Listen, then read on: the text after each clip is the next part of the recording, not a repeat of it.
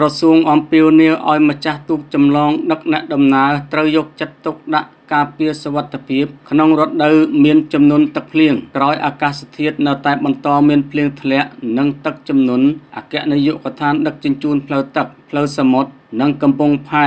នៃក្រសួងសាធារណការនិងដឹកជញ្ជូន កាលពីពេលថ្មីថ្មីនេះ បានចេញសេចក្តីជូនដំណឹងណែនាំឲ្យម្ចាស់នាវាទូកចម្លង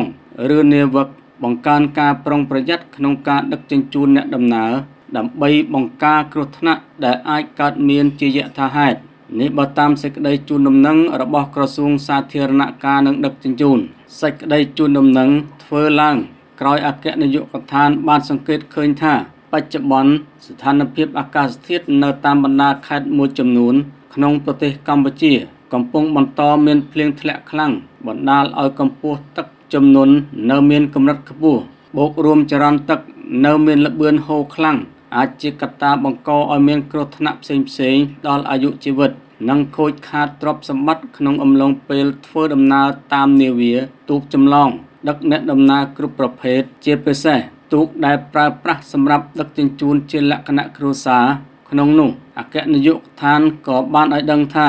នាពេលកន្លងមកអគ្គនាយកដ្ឋាន បានសង្កេតឃើញមានទូកដែលប្រើសម្រាប់ដឹកជញ្ជូនជាលក្ខណៈគ្រួសារមួយចំនួនពុំបានអនុវត្តតាមការណែនាំរបស់មន្ត្រីមានសមត្ថកិច្ចនិងអាជ្ញាធរមូលដ្ឋាន ស្ដីពីបញ្ហាអាកាសធាតុនិងសវត្ថិភាពនាវាចរនៅឡើយដូច្នេះជំវិញបញ្ហានេះអគ្គនាយកដ្ឋានសូមបញ្ជាក់ថាដើម្បីពង្រឹងរក្សាសវត្ថិភាពនាវាទូកចម្លងដឹកអ្នកដំណើរបង្ការ និងទប់ស្កាត់នៅគ្រោះថ្នាក់ផ្សេងផ្សេងដែលអាចកើតមានឡើងជាយថាហេតុនៅក្នុងរដូវវស្សា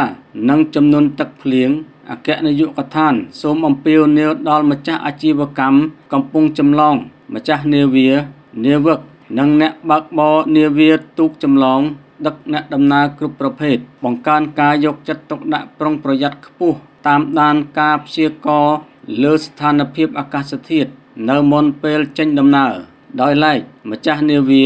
ឬទូកចម្លងត្រូវគោរពវិធានការណែនាំរបស់មន្ត្រីមានសមត្ថកិច្ចនិងអាជ្ញាធរមូលដ្ឋានឲ្យបានខ្ជាប់ខ្ជួននិងចូលរួមក្នុងការអនុវត្តច្បាប់ និងបទបញ្ញត្តិពាក់ព័ន្ធជាធរមាន ស្ដីពីវិធានការពង្រឹងការរក្សាសវត្ថិភាពនាវាទូកចម្លងដឹកអ្នកដំណើរ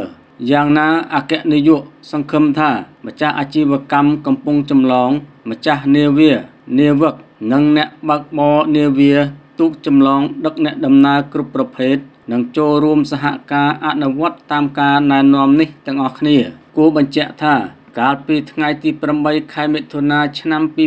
2024មានហេតុការណ៍លិចទូកចម្លងនៅស្រុកប្រាសាទសម្បូរខេត្តកំពង់ធំបណ្ដាលឲ្យក្មេងស្រីអាយុ13ឆ្នាំម្នាក់ស្លាប់បើតាមមន្ត្រីអាជ្ញាធរទូកចម្លងស្ទឹងនោះ មានសិស្សប្រុសស្រីចំនួន15នាក់ជិះនៅលើទូក ខណៈពេលដែលពួកគេត្រឡប់មកពីសាលារៀនទៅផ្ទះវិញ ក្រោយហេតុការណ៍នេះកាលពីថ្ងៃទី12ខែមិថុនាឆ្នាំ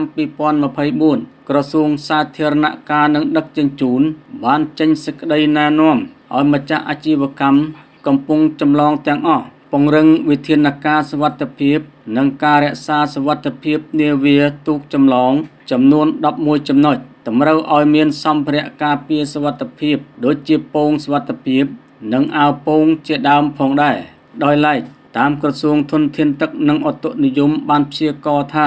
នាពេលបច្ចុប្បន្នកម្ពុជាកំពុងទទួលរងឥទ្ធិពលខ្យល់មូសុងអេសាន ដែលបក់លើសមុទ្រចិនខាងត្បូង ចាប់ផ្ដើមមានឥទ្ធិពលខ្លាំងខណៈសម្ពាធទាបនៅតែបន្តគ្របដណ្ដប់ភាគខាងក្រោមនៃអាងទន្លេមេគង្គនិងលើប្រទេសកម្ពុជា